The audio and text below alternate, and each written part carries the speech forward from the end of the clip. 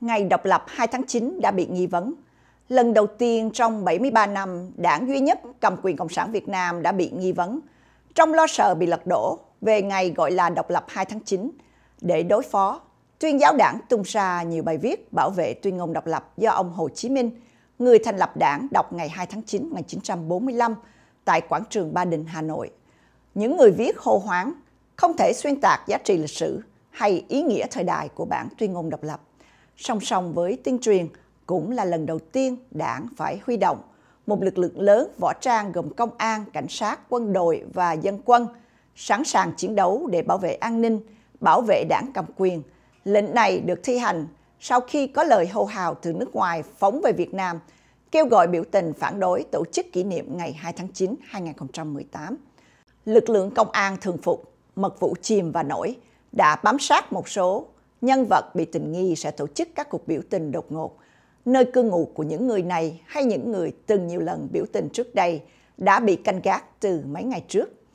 Nhà văn, cựu đại tá quân đội Phạm Đình Trọng viết, ngày 2 tháng 9 2018, công an bủa vây nhà nhiều người dân trên khắp mọi miền đất nước, hai trung tâm chính trị văn hóa, xã hội tiêu biểu Hà Nội và Sài Gòn là hai nơi có số người dân bị công an nhà nước Cộng sản ngăn chặn, không cho ra khỏi nhà nhiều nhất.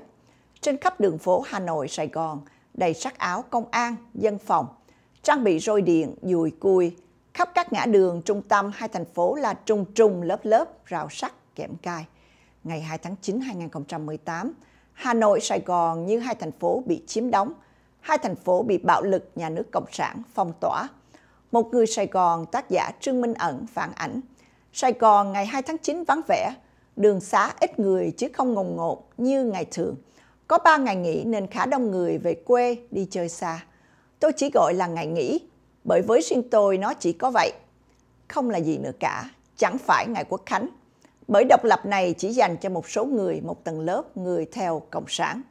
Nhà văn, nhà báo độc lập Nguyễn Tường Thụy cũng viết, đặc điểm nổi bật của việc kỷ niệm 73 năm tuyên ngôn độc lập năm nay là tình hình siết chặt an ninh trên toàn quốc.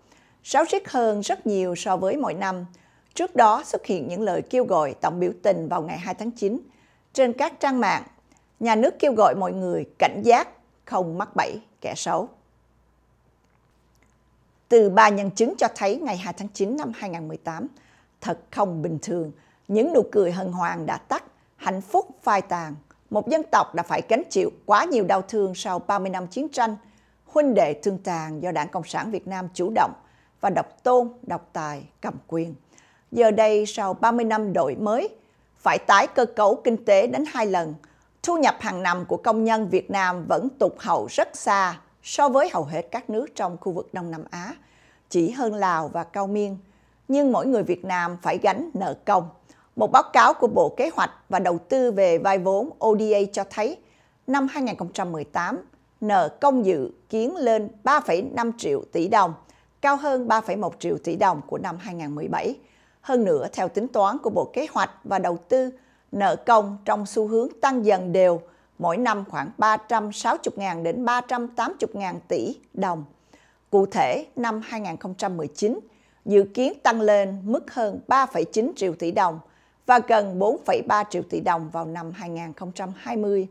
Với tình hình kinh tế chưa ra khỏi quỹ đạo, trung bình thấp, người dân Việt Nam còn phải gánh chịu thảm họa của quốc nạn tham nhũng và tệ nạn các nhóm lợi ích không ngừng phá hoại ngân sách nằm trong các doanh nghiệp nhà nước thua lỗ. Như vậy, nếu đọc lại lời mở đầu của tuyên ngôn ngày 2 tháng 9 1945, ta thấy ngay đảng cầm quyền Cộng sản Việt Nam đã thất bại, ê chề. Ngày ấy, ông Hồ Chí Minh, người thành lập đảng, đọc ngày 2 tháng 9 1945, tất cả mọi người đều sinh ra, có quyền bình đẳng, tạo hóa cho họ những quyền không ai có thể xâm phạm được. Trong những quyền ấy có quyền được sống, quyền tự do và quyền mưu cầu hạnh phúc. Nhưng đối với đại đa số nhân dân Việt Nam sống dưới chế độ độc tài và độc đảng Cộng sản, thì chỉ có những người của đảng làm theo lệnh đảng mới có quyền tự do và quyền mưu cầu hạnh phúc. Tình trạng chênh lệch, giàu nghèo và không bình đẳng trong xã hội Việt Nam ngày nay là một bằng chứng. Vì vậy mà lần kỷ niệm lần thứ 73 năm nay 2018, ngày gọi là độc lập 2 tháng 9, đã bị đặt nghi vấn bởi nhiều tầng lớp nhân dân. Giáo sư Nguyễn Đình Cống, 81 tuổi, người đã tuyên bố bỏ đảng Cộng sản Việt Nam từ năm 2016, đã phê bình một đoạn trong tuyên ngôn của ông Hồ rằng về việc giành chính quyền, tuyên ngôn viết sự thật là từ đầu mùa thu năm 1940, nước ta đã thành thuộc địa của Nhật, chứ không phải là thuộc địa của Pháp nữa. Khi Nhật hàng đồng minh, thì nhân dân cả nước ta đã nổi dậy, giành chính quyền lập nên nước Việt Nam Dân Chủ Cộng Hòa. Sự thật thì dân ta đã lấy lại nước Việt Nam từ tay Nhật chứ không phải từ tay Pháp. Các sự thật nêu ở đây chỉ mới là một phần. Phần quan trọng hơn đã được giấu kín đó là việc cướp chính quyền từ chính phủ Trần Trọng Kim chứ không phải giành từ tay Nhật. Vì Nhật đã đầu hàng rồi. Việt Nam đã tuyên bố độc lập từ tháng 3 1945. Câu dân ta đã lấy lại nước Việt Nam từ tay Nhật là không đúng sự thật. Theo tài liệu của giáo sư Cống phổ biến, vua Bảo Đại đã chính thức công bố đọc vào ngày 11 tháng 3 tại Huế. Nội dung như sau, cứ tình hình chung trong thiên hạ, tình thế riêng cõi Đông Á. Chính phủ Việt Nam tuyên bố từ ngày này điều ước bảo hộ với nước Pháp bãi bỏ và nước Nam khôi phục quyền độc lập. Nước Việt Nam sẽ gắn sức từ tiến triển cho xứng đáng một quốc gia độc lập và theo như lời tuyên ngôn chung của Đại Đông Á, đem tài lực giúp cho cuộc thịnh vượng chung. Vậy, chính phủ Việt Nam một lòng tin cậy lòng thành ở Nhật Bản đế quốc, quyết chí hợp tác với nước Nhật, đem hết tài sản trong nước để cho đạt được mục đích như trên. Bản tuyên ngôn được nhà vua và sáu thượng thư cùng ký tên, nêu lên các điểm chính sau. Thứ nhất, bãi bỏ điều ước bảo hộ của Pháp, chứ không tuyệt giao với Pháp, không lên án chế độ cai trị của Pháp. Thứ hai, nước Nam khôi phục quyền độc lập và cố xứng đáng quốc gia độc lập.